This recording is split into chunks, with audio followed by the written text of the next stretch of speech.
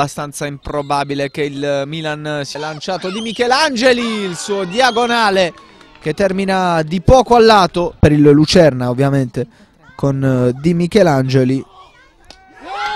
E poi c'è il gol trovato dallo stesso numero 8 del Lucerna che calza una palla praticamente sui piedi di Palazzoli va alla conclusione la palla è ancora lì e poi Palazzoli trova il pareggio il Perugia. Viene però anticipato palla adesso in uh, diagonale per Lang.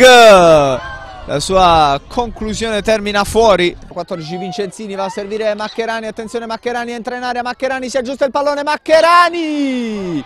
Ha segnato il Perugia con Maccherani a due minuti dal termine della gara. Rossa e termina qui la gara. Il Perugia vince 2 a 1 contro il Lucerna arriva seconda nel girone perché il Milan ha battuto 3 a 0 la Prosesto